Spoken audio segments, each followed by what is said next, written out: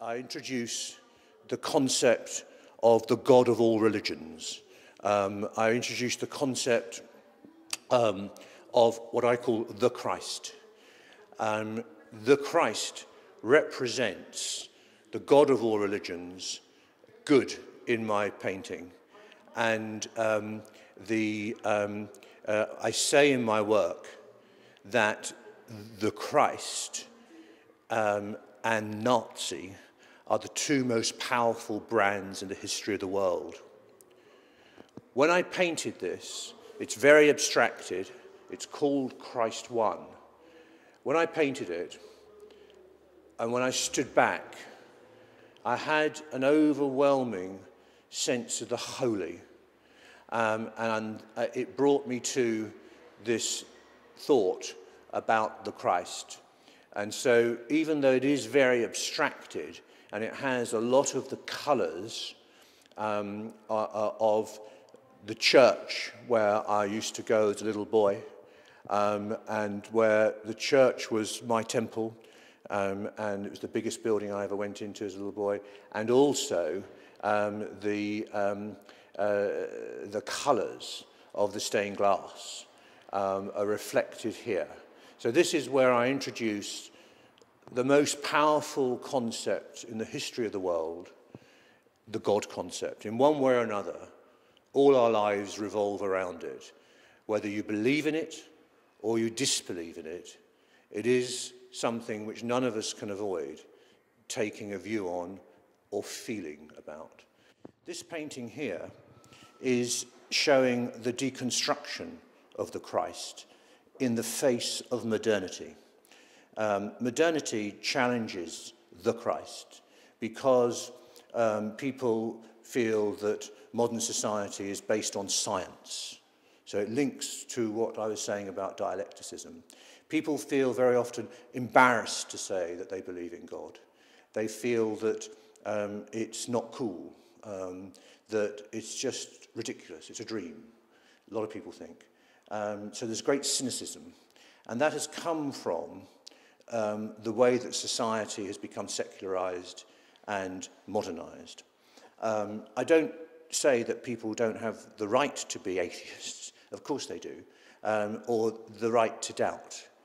But I do say, and I do recognize that over the last couple of hundred years, the Christ concept has been um, at times fractured, um, at times broken down, but in my conception, never defeated.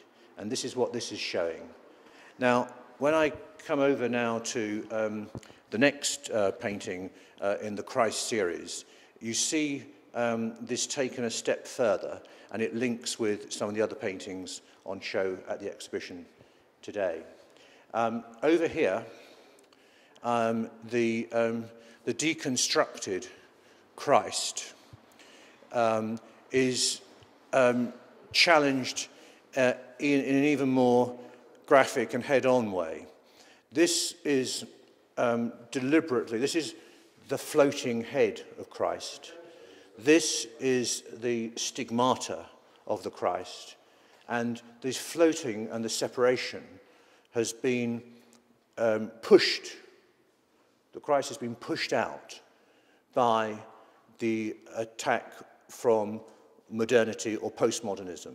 In my conception, remember that uh, when we talked about the first Christ, I said that the King's Blue Deep was a colour that found me. I didn't find it.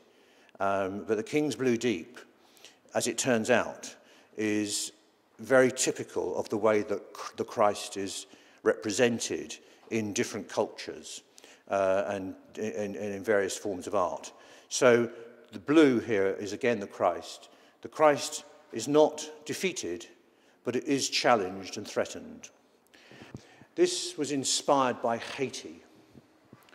Um, and what, it, what it's representing is the question, how could an all-loving um, God um, perpetrate or allow the destruction, like Haiti, on the poorest people on the face of the earth. Why would God do that? Why would God allow that? How could it be? And it's not, it's a much bigger threat to faith than 9 11. It is, uh, this is not man made, this is a natural disaster. So, to, as I said, I've no answer to it. It doesn't shake my faith, but I have no answer. So, what I wanted to do here was to pose the question. And the question is uh, the way I've done it is that the King's Blue Deep is deliberately very powerful and strong, and because it didn't shake my faith at all. In the same way, when my father died, it didn't shake my faith. It shook my mother's faith to the foundation. She was a devout Catholic. She couldn't understand, she couldn't believe, she couldn't forgive God for allowing my father to die. I did not have that experience. I didn't shake my faith. But nonetheless, I have no answer to Haiti. And so what I've done here is I have put the deconstructed Christ, as I did on this painting here, um, but this time what I've done is the blocks of the Christ are full, thick blood red. Um, and I wanted to um, suggest that there is, um, um, there will be enlightenment. There is a way of through. So I've used metal paint to give some depth and let some of the blue come through, which is to give a sign of hope, a hope that we will understand one day um, and that um, there will be greater enlightenment and acceptance.